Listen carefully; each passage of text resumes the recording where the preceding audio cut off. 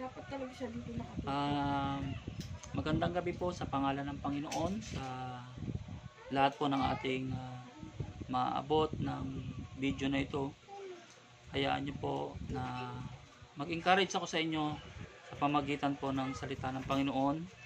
Alam ko na yung iba sa atin ay nagugulimahanan sa sitwasyon natin patungkol sa ah, may mga pandemic po tayo na nag-aalala tayo kung ano pa yung mga bagay na susunod sa ating pinangaharap. Mas lalo bilang mga Kristiyano ay dumadating talaga yung kapanahunan na napapaisip tayo na ano pa ba yung nagiintay para sa atin? Ano pa ba yung mga bagay na pwede pa natin kaharapin sa buhay na ito. At katulad po ng marami ay katulad nyo rin kami na napapatanong at napapaisip pero subalit sa mga salita ng Panginoon na nagbibigay sa atin na nagpapalakas ay nauunawaan natin na ang panahong ito ay sadyang nakatakda sa bawat isa sa atin upang harapin ang panibagong mga challenges hindi lang ito ah, isang bagay na basta na lamang o sitwasyon na basta na lamang dadaan sa ating buhay, kundi may kalakip itong lesson sa bawat isa sa atin. Hindi pa lang po natin minsan nauunawaan, pero may mga bagay na gustong ipaiwatig sa atin ng Panginoon sa panahong ito na ating pinagdadaanan. Kaya nga po sa gabing ito ay hayaan niyo po na bigyan po natin ng pagkakataon na ilang minuto na mapakinggan po ang salita ng Diyos na magbibigay po sa atin ng panibagong kalakasan na mas lalo tayong magpatuloy at ipursigi yung nasimulan nating patungkol sa ating mga pananampalataya. Sa gabing ito po ay meron po kong munting na, na topic na alam ko po na kalooban ng Diyos na marinig ng bawat isa sa atin. At ito po ay aking pinagamagatan sa gabing ito na trust in the Lord patiently. Maraming mga tao sa Christian world, kahit sa lugar na ginagalawan natin bilang mga Pentecostals, ay ang tiwala natin sa Panginoon ay laging naririyan at dumadating din talaga yung panahon na itong pagtitiwalang ito ay parang uti-uting nababawasan. Itong pagtitiwalang ito ay parang dahan-dahang lumalabo. Pero salamat na merong salita ng Diyos na ano man yung pagdaanan natin sa ating buhay ay pinapalakas tayo. Kaya nga ang sabi mga kapatid ng Isaiah chapter 40 verse 28 hanggang 31 Hindi mo baga nalalaman? Hindi mo baga narinig? Ang walang hanggang Diyos, ang Panginoon ang may lalang ng wakas ng lupa, hindi nanlalata o napapagod man. Wala makatarok ng kanyang unawa. Siya ay nagbibigay ng lakas sa mahina at ang walang kapangyarihan ay pinananagana niya sa kalakasan. Pati ng mga kabinataan ay manlalata at mapapagod at ang mga binata ay lubos na mga bubuwal. Ngunit silang naghihintay sa Panginoon ay nagbabagong lakas. Sila ay paiilan lang na may mga pakpak na parang mga agila. Sila ay magsisitakbo at hindi mga papagod at sila ay magsisilakad at hindi manghihina.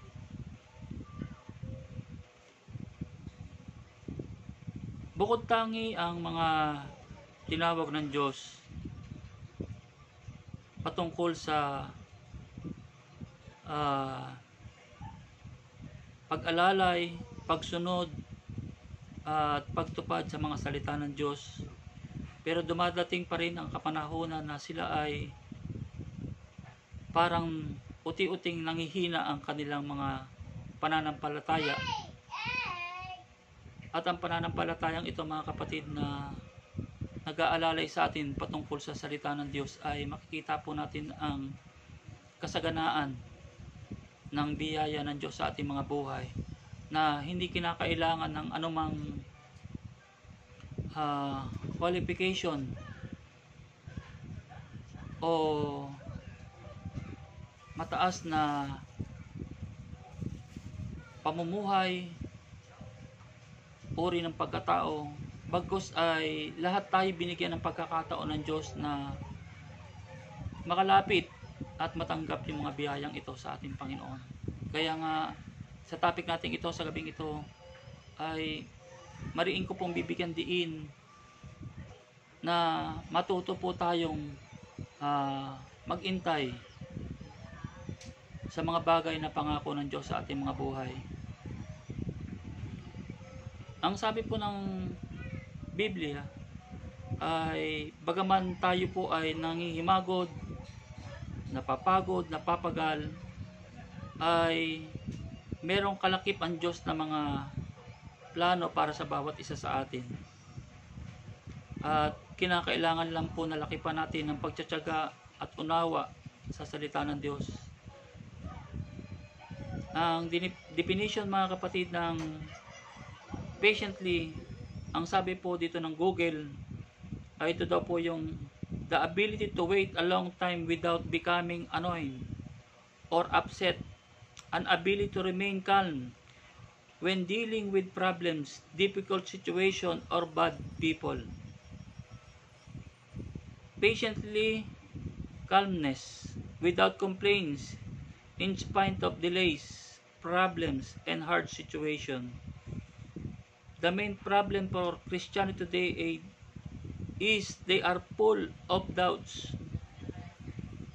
Ang nagiging pinakamalaking problema po ng Kristyanidad sa kapanahonan natin o yung mga believers, mga kapatid ay sa panahon na sila ay naghihintay sa mga pangako ng Diyos ay saka naman pumapasok yung doubts o yung pag-aalinlangan natin sa mga pangako ng Diyos sa ating mga buhay. Kaya nga po ah pilit tayong ini-encourage ng Diyos na ang lahat ng bagay ay merong pag-iintay. Hindi pwede nating karakaraka na makukuha ang lahat ng gusto natin sa ating buhay. Mas lalo't hindi po ito kalooban ng Diyos. Kaya nung maalala ko po ang bansang Israel o itong mga Israelita nang sila po ay humiling sa Diyos patungkol sa pagkain ay hindi agad nila nagets o nakuha yung gustong ipunto ng Diyos sa kanila. Sa chapter 16 and 17 po ng Exodus ay mapapansin po natin kung saan lugar idinala ng Panginoon itong mga Israelita. Ang lugar na pinagdalahan sa kanila pagkatawid po nila ng Red Sea ay isang lugar na kung saan merong labing dalawang bukal. At napapalibutan mga kapatid ng mga palm trees na kung atin pong uunawain ay ready ready na itong lugar na ito na sila ay doon manahan. Ready ready na itong lugar na ito na pwede sila makapagtanim at magkaroon ng magandang buhay sa lugar na pinagdalahan sa kanila ng Diyos. Pero dahil nga sa ang tao ay likas na mapagreklamo o mapaghanap sa mga bagay na wala sa kanila ay nakita po natin na nagreklamo itong mga taong ito kay Moses na humihingi sila ng pagkain na ikinukumpare pa nga nila yung buhay nila dati doon sa Egypt na kung tutusin po ay talagang napakalayo na ng kanilang narating. Wala na sila doon sa buhay na pagkaalipin wala na sila doon sa buhay na kung saan ay pinahihirapan sila. Kundi nasa panibagong yugto o stage na sila ng kanilang ah, buhay na merong kaakibat na challenges o merong mga kasamang ah, lessons na matututunan. Yan naman ang importante mga kapatid sa buhay na ito na meron tayo natututunan sa ating mga pang-araw-araw na buhay. So makikita po natin na pwede sila naman talaga mag-start na magtanim na sa lugar na pinagdalaan sa kanila ng Diyos. Pwede sila makakain ng prutas, mga sariwang gulay kung sakasakali magtatanim sila. Pero mas pinili nila na tuksuin ang Diyos, subukin ang Diyos, kung ano yung pwede pang magawa ng Diyos sa kanila, na hindi sila napapagod, na hindi sila naghihirap, gusto nila ay nasusuplayan sila, ah, na walang pawis o pagtatrabaho.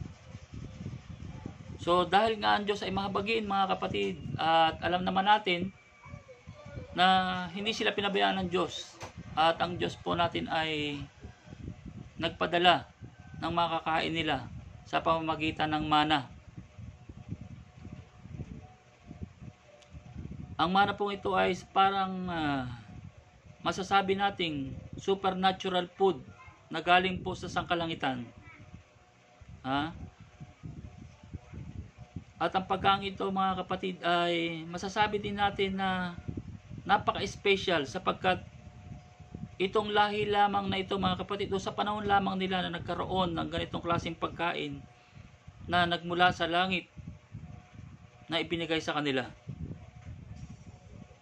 So sa paghingi nila mga kapatid ko ng pagkain ito ay mababasa po natin na hindi po talaga nila ito pangangailangan kundi sa tulak at bugso ng kanilang las Hindi po need, kundi last mga kapatid ang sabi po sa chapter 16 and 17 ng Exodus. Ang paghingi nila sa pagkain ito. Kaya nga may part sa Psalms chapter 78, 15 to 25 ay ipinaliwanag ni Haring David na itong paghingi mga kapatid ko ng Israelita ay isang pagsubok sa kakayanan ng Diyos na sila ay buhayin. Gusto nilang sukatin ang kakayanan ng Diyos kung kaya silang uh, i-sustain simula nang sila ay makalabas doon sa Ehipto. Itong manang ito ay dumarating sa kanila tuwing umaga. Pagkatapos nila makakain, ay bigla-bigla rin itong nawawala pag tumaas na yung sikat ng araw hindi sila pwedeng magtabi.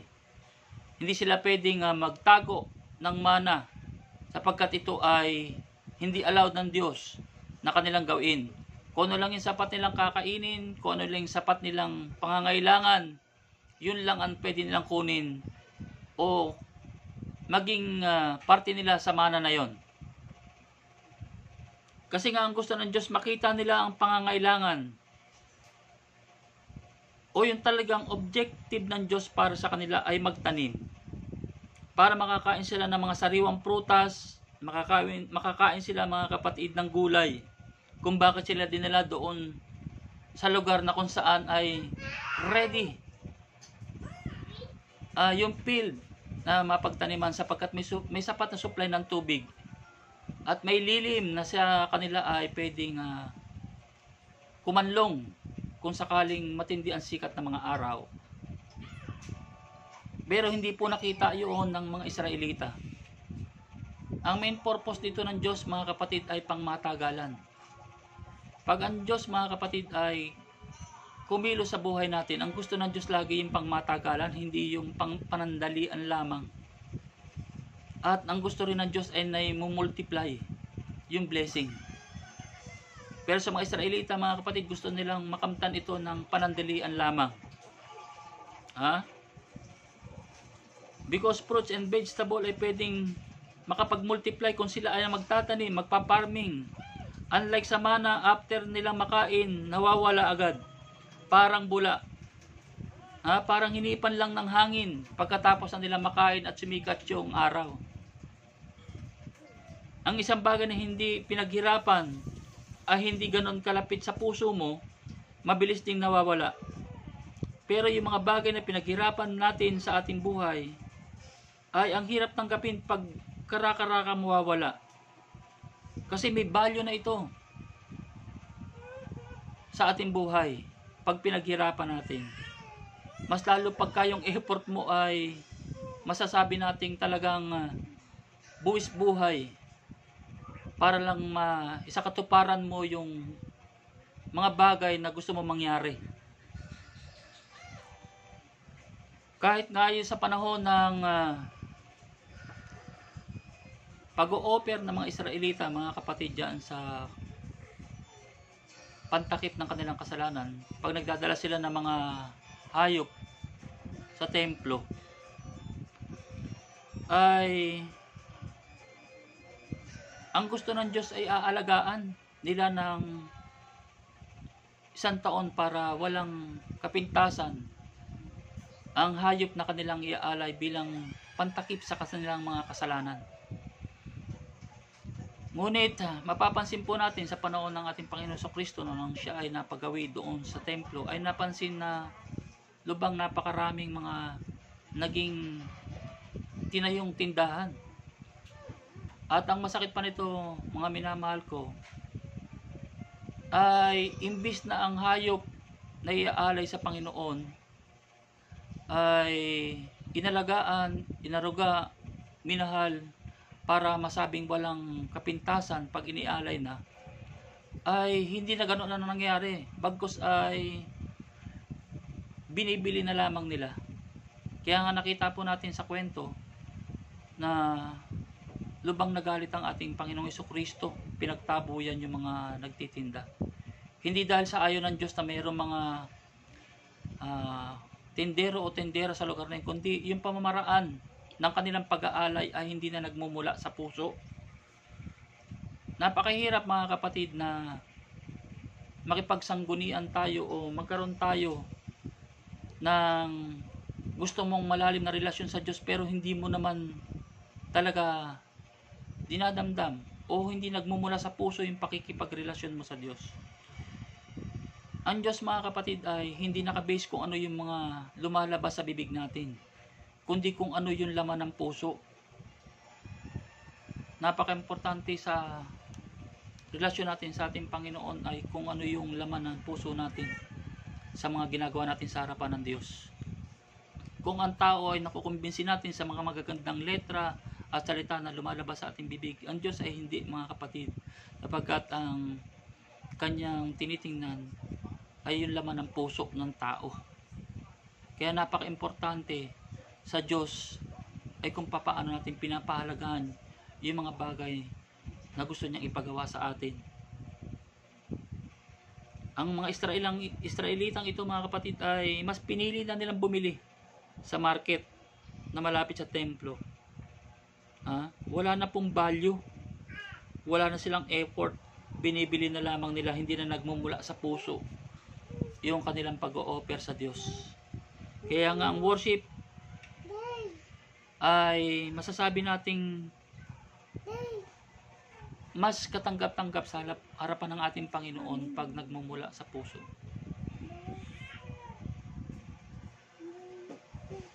Mas nararamdaman mo yung bawat palakpak, yung bawat pag-awit, pag nagmumula sa puso, mga kapatid, yung ating pagsamba sa Diyos. Nararamdaman mo na yung bawat letra na binabanggit mo sa lyrics ng mga salita na ating inaawit sa Panginoon ay merong mga kalabit sa ating puso. Kasi alam mo na iniaalay mo ito ng buong puso sa ating Diyos. Ang naging focus na lang kasi dito mga kapatid ng mga Israelita ay pang temporary. Hindi na sila nakatingin doon sa pangmatagalan. Katulad ng mana, mabilisan lang ito.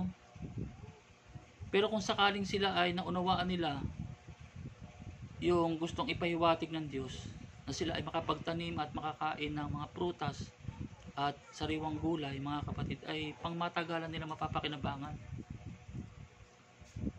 So iba po yung naging focus nila. Mas nagustuhan na nila na manatili doon sa pagsusupply ng Diyos sa kanila ng mana. Pagkagising nila sa umaga, meron na kaagad. Yun na lang yung araw-araw na routine ng buhay nila. Walang effort. Walang pinaghirapan. At kaya yung value, hindi ganun kalalim sa puso nila. Mabilisan lang yung blessing. Inaapura nila ang Diyos, minamadali, dalas-dalas ang paghingi nila. Ang gusto nila na andyan agad, walang pagod. Ayaw nila naghihintay.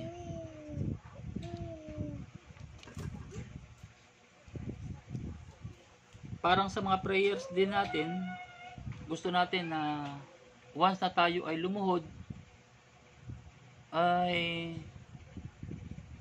meron kaagad tugon ng Diyos doon sa hiningi natin sa Kanya at gusto natin ma-materialize agad. May mga bagay naman din at pagkakataon na meron din ganun na pangyayari.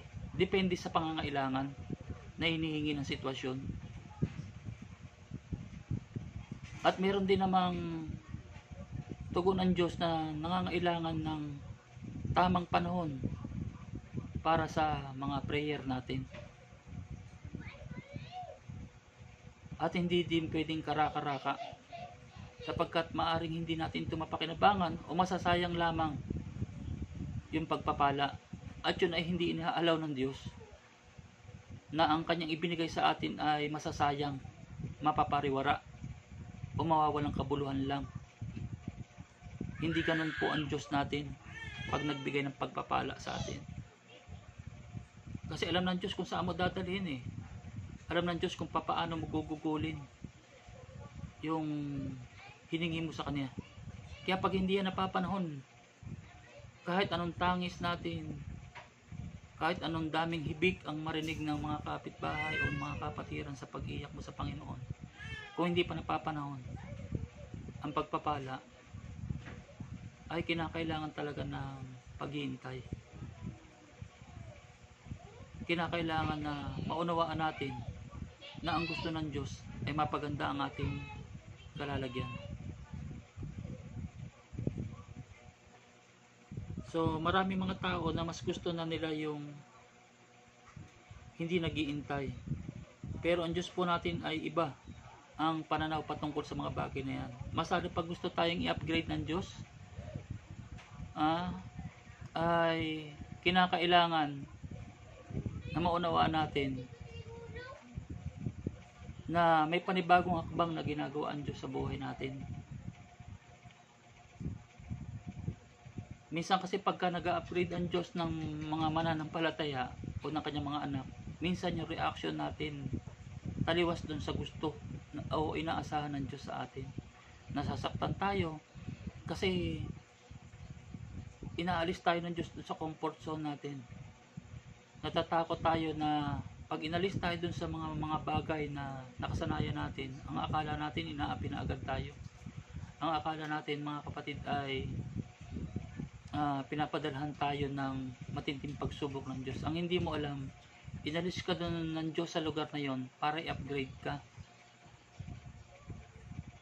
Para ilagay ka sa panibagong level ng buhay. Kasi yun naman talaga ang pinagpe-pray mo. Ang kinakailangan lang, maunawaan mo kung bakit ka inalis doon ng Diyos. Minsan nga tao tinatanggal sa atin eh. Minsan yung mga kaibigan, inilalayo ka sa mga ganong klase ng tao. Kasi alam ng Diyos na hindi ka doon lalago spiritually. Pero minsan pinagpipilitan pa nga natin eh.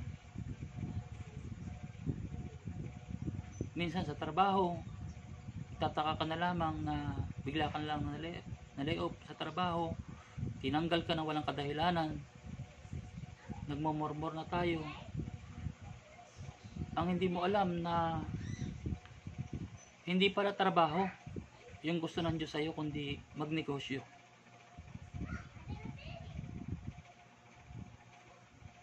Ha? Ang gusto ng Diyos mga kapatid ay mas lalo tayong mapalapit sa Kanya o yung relasyon mo ay magkaroon ng mas padiin na paglilingkod. parang sa magkasintahan ang magkasintahan pagka yung nagkakilala ng panandalian at naging maging ah, boyfriend girlfriend pag mabilisan lang yung kanilang ah, pagliligawan malaking porsyento na mabilis din yung relasyon nila. Mabilis sila naghihiwalay. Pero kung yung kanilang pagliligawan ay dumaan sa matinding suyuan ang kanilang pagliligawan ay dumaan sa marami ka nang nairegalo nakita mo na yung mga bad sides niya nauunawaan mo na siya ay hindi kayo basta-basta na igugupo hindi kayo basta-basta na bumibitaw. Sa panahon na subukin yung relasyon nyo ay nagkakaroon kayo ng pag-uunawaan. Bakit? kasi may effort. Nagkaroon na ng value. Pinaghirapan nyo yung relasyon na yun kaya hindi kayo basta-basta bumibigay. Na kahit anong sabihin pa ng mga tao na nakapaligid sa inyo ay hindi kayo mabilis mapaniwala. Bakit? Kilala nyo na yung isa't isa. Alam nyo kung ano ang totoo sa inyo. So ganun din sa Diyos mga kapatid sa paglilingkod natin sa Kanya. Pagka kara-kara lamang na dumating sa buhay natin na hindi natin pinaghirapan parang easy lang siya na mawala siya o mag-stay sa buhay mo okay lang. Hindi mo siya napapansin pagka nawala. Pero pagka napamana sa inyo mga kapatid ilang minuto pa lang na wala sa paningin nyo parang may kulang. May bagay na ah, hindi nakakasapat. Kasi nga nakasanayan nyo siya na nandiyan sa paligid nyo napamahal na may value na sa buhay natin. Ah, katulad ng pagtatanim mga kapatid na gustong i-offer ng Diyos sa mga Israelita hindi yung mana ito talaga yung gustong i-offer sa kanila ng Diyos. Na maging pangmatagalan nilang ikabubuhay. Dahil ito mga magiging bunga ng mga prutas at mga gulay o mga vegetables ay makakapag reproduce pa ito na marami. Mas lalo pag tama yung pag-aalaga. Ha? At sa konting pag-iintay natin ang resulta ay napakaganda. Mas lalo't inalagaan natin ng gusto. Ito mga pananim. Kaya nung tumagal mga kapatid itinigil din ng Diyos yung supply ng mana para matuto silang ma-exercise yung faith ng mga Israelita. Kasi ang faith mga kapatid as long as na na-exercise natin ito maraming ah, katanungan sa isip mo ang nabubuksan maraming mga puzzle sa buhay mo patungkol sa mga hiwaga ng Diyos ang nabubuksan pagpatuloy nating ini-exercise yung faith natin at ang itong mga milagrong ito ay uti-uti mong nauunawaan at nakikita mo yung tamang susi para makuha mo yung mga pagpapala ng Diyos. Sabi nga ng isang preacher, mga kapatid, narinig ko sa isang preaching na ang faith na po yung pinakantiyad ay ng mga mananampalataya. Nakikita daw po natin dahan-dahan yung mga invisible things ng Diyos pag pinapairal natin yung tamang pananampalataya sa ating Panginoon. At itong pananampalataya mga kapatid, yung human perspective natin ay napapalitan ng mga makalangit na pagnanasa o pag-aasam. Yung mga pangliteral natin na minimiti mga kapatid bagaman kailangan din naman nga natin ay napapalitan ng malalim, malalim na unawa na mas kailangan talaga natin yung mga makalangit o yung mga pang-spiritual na mga bagay. Secondary na lang mga option sa buhay natin o secondary na lang sa pangangailangan natin yung mga material. Kasi susunod lang yan sila sa atin. once tama yung paglilingkod at relasyon natin sa harapan ng Diyos. Naalala ko tuloy yung assistant ni Propeta Elijah na inutusan niya patungkol kung meron ng ulan. Ah, yung unang punta ng assistant mga kapatid nang bumalik ay kahit any signs daw na uulan ay wala. Pitong beses siyang pinabalik ni Elijah doon sa bundok para tingnan kung meron ng signs ng pagulan. Pero paulit-ulit niya lang sinasabi mga kapatid na wala pang sign na magkakaroon ng ulan.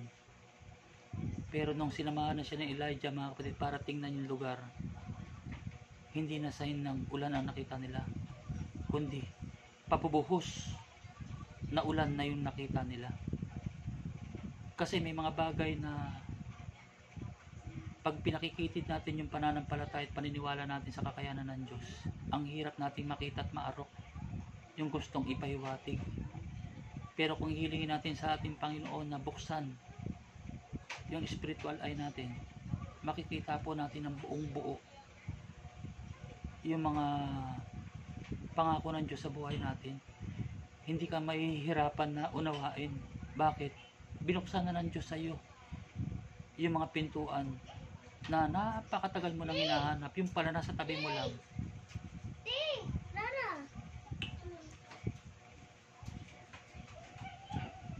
Kaya, kung gusto mo mag-perform ng gusto yung miracle sa buhay, kinakailangan na matuto rin tayo talaga na mag-intay sa kalooban ng Panginoon. Unlike sa mana mga kapatid, pang survival lang yun eh. Ha? Hindi naman talaga yun yung gusto ng Diyos na ibigay sa kanila. Dahil lang sa pagpapumilit nila, pagmamormorings nila mga kapatid, ay naprovoke ang Diyos na gawin, ibigay sa kanila ito. Pero hindi talaga yun ang gusto mangyari ng Diyos para sa mga Israelita. Ayaw ng Diyos na umasa tayo sa mga temporal things. Ha? Minsan natatakot kang ah, lumabas dyan sa kinilalagyan mong lungga. Ayaw mo subukan yung mga ibang pinto na nasa iyong harapan sa iyong tagiliran na nagiintay lang na buksan. Na pag nabuksan mo ay makikita yung mga bagong opportunity sa buhay. Natatakot ka kasi nasanay ka na dun sa lugar na kinagagalawan mo eh. Natatakot ka na magbaka sakali. Natatakot kang sumubok muli. Baka mabigo ka. Pero ang tanong mga kapatid napabayaan ka na ba ng Diyos? Na sa panahon na meron siyang gustong ipasubok sa iyo o sa panahon na meron siyang gustong ah, ipahiwatig ipakita sa atin napabayaan ba tayo? Hindi naman. At lalo pa tayong higit na napaganda ng kalalagyan. Kasi nung sinubok natin yung ipinadala ng Diyos sa atin. Yun pala yung talagang iniintay nating biyaya. Masalo pagka gusto kang iakyat ng Diyos sa panibagong level ng buhay. Ha?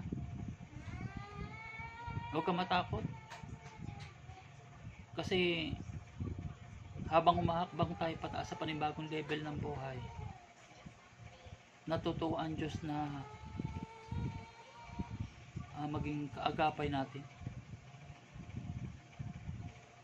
sa level ng buhay na gusto mo. At sa level ng buhay na ipinrepare sa bawat isa sa atin ng Diyos. Kahit nga sa panahon ngayon ng pandemic mga kapatid may isang taon na yung nakalipas eh. Bagamat yung ibang mga tao ay nag-aalala yung ibang mga tao ay nag-umiyaw na na kinakapos na sila pero makikita natin mga kapatid yung mga kapatira na marami na rin ako kaming bahay na napasyalan pero maayos man ng kanilang kalagayan. Nag-aalala lang talaga tayo na may pandemya. Totoong may pandemya mga kapatid. Pero bagaman may pandemya, may pagpapala pa rin ang Diyos. Hindi naman natapos ang pagpapala ng Diyos na dumating yung pandemya. Bagkus lalo natin nakilala yung kabutihan ng Diyos sa buhay natin. Amen? Ha? Ang gusto kasi ng tao, yung mga pagpapalang mabilisan lang nakukuha. Yung instant mo nakukuha. Kasi yun yung ini-introduce ngayon ng mundo eh. Yung hindi na tayo mag-iintay, yung hindi na tayo ah, magkakaroon ng effort. Hindi yun ang kalooban ng Diyos. Ang gusto ng Diyos kung sakaling magkaroon tayo ng mga bagay o dumating yung pangako niya, napapahalagahan natin. Yun, naalala ko tuloy nung sa feeding ng 5,000 mga kapatid. Ha? Karamihan doon walang effort nung pinakain sila ng Diyos. Dahil lang doon sa bata na may dalang tinapay at isda. Ha? Pero nung sumobra na, nakatakain na sila, nabusog na sila mga kapatid, ay yung bata na nag-effort, yung bata na merong ibinigay, ay nagkaroon ng multiplication yung kanya ibinigay. Yun yung gusto ng Diyos. Nagkakaroon ng pagmumultiply yung mga bagay na naging kabahagi natin sa gawain. Ha? Ang naging focus mga kapatid ng mga tao na laging kasakasama ng Panginoon dun sa kanyang panahonan 2,000 years ago ay natutuwa sila na makakita ng iba't ibang mga milagro. Ang masakit, karamihan doon nakapokus na lang doon sa milagro na ginagawa. Hindi na nila na pahalagahan yun nagbibigay ng milagro. Nakapokus na sila doon sa ah pagbibigay ng maraming tinapay, maraming isda, ang hindi nila nag-gets mga kapatid ang sabi na, Panginoon, ako yung nagbigay ng milagro. Ako yung bread of life.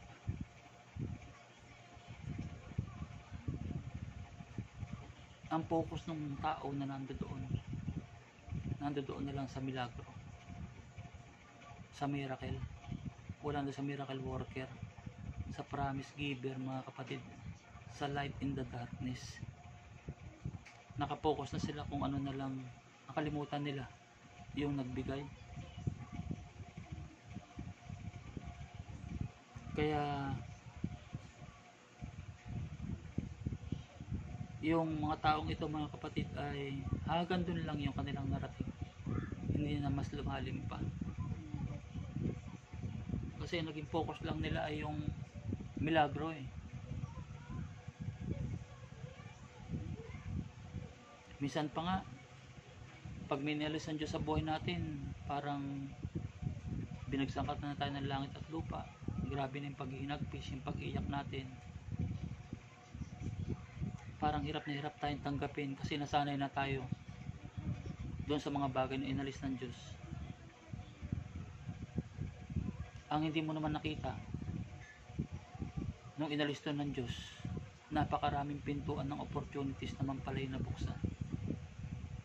Pero hindi mo siya makita kasi nakapokus ka doon sa nawala. Ha? Kaya nga sabi doon sa verse 31 ng binasa natin kanina sa Isaiah chapter 40. Ha? But they that wait upon the Lord shall renew their strength. Nagkakaroon ng panibagong kalakasan doon sa mga tao na natututo mag-intay sa kalooban ng Diyos. Bakit nagkakaroon ng kalakasan? Kasi nauunawaan na natin eh na may maganda na layunin ng Diyos kung bakit tayo nagiintay. Pero ang tao, likhang mainipin sa mga bagay na hilihin-hiling sila yung mga hinihiling natin, minimiti natin sa ating mga prayers. Alala ko tuloy yung kwento ng agila. Na, nabanggit din dito sa verse 31 ang binasa natin.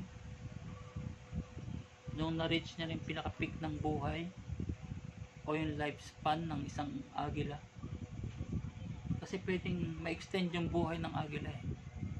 After ng 40 years, mga kapatid, ay pwede pa itong ma-extend. Depende kung anong kalalabasan nung test. Kaya yung isang agila mga kapatid ay dumating na doon sa edad na 40 ay uti-uti na raw na lumalabo yung kanilang mga paningin yung kanilang ah, mga kuko ay nahihi, mahina ng kumapit at ang kanilang mga pakpak ay parang humihina ng pumagaspas kaya pagdating ng age 40 mga kapatid ko itong mga agila ay mahanap ng isang lugar o isang mataas na lugar na doon nila ah, susubukin yung sarili nila. Kung may kukontinue pa nila yung panibagong level ng buhay na pwedeng i-offer pa sa kanila. Hahanap yan sila ng isang hahawakan, bato man yan o sanga, mga kapatid na doon nila ikakapit ng gusto yung kanilang mga kuko na kung ilang days sila naroon mga kapatid na inuulan nasisikatan ng araw hanggang sa panahon na sila ay binabagyo mga kapatid ay inuuga yung kanilang kinatutungtungan. At yung kanilang ah, mga kuko ay dahan-dahan mga kapatid na nagkakaroon ng panibagong lakas. At yung kanilang mga mata mga kapatid ay matagal nilang hindi binubuka ha? Binibigyan nila ng pagkakataon na makapamahinga. At sa pag-uga mga kapatid nito mga sanga o yung kanilang pinalalagyan sa hampas ng hangin o ng bagyo o anuman yan na meron yung kanilang mga pakpak o yung kanilang mga bagwis ay natututo na muling maipagaspas at muling para nagiging exercise na nila nagiging training nila at kung ano man yung kalalabasan noong kanilang training na yon ay ang magdedetermina kung ilang taon pa yung kanilang may extend. Kasi mayroong mga agila mga kapatid na sa training na yon ay hindi na nakapag-continue pa. Sumuko pero mas maraming mga agila ang mas pinili na tanggapin sa kanilang sarili at minithi na ma-continue pa na hindi lamang 40 years yung inilalagi nila sa mundong ito. Bagkus binigyan pa sila ng tsansa na madagdagan ng another 40 years. Ha? na-renew yung strength. Na-renew yung kalakasan. Natusuto silang mag-intay sa kalooban ng Diyos So sa gabing ito mga kapatid, alam ko marami naman na kayong pinagdadaanan eh. Pinagdaanan na. At sa bawat mga pinagdaanan natin sa buhay bilang Kristiyano, bakit hindi mo uti-uting alalahanin kung paano ang Diyos kumilos sa buhay niyo? Bakit hindi mo ulit ah, balikan sa iyong memorya? kung papaano ang Diyos ay gumawa ng milagro sa buhay mo. Ang pinakamaganda pa nga nito mga kapatid ang hindi mo alam.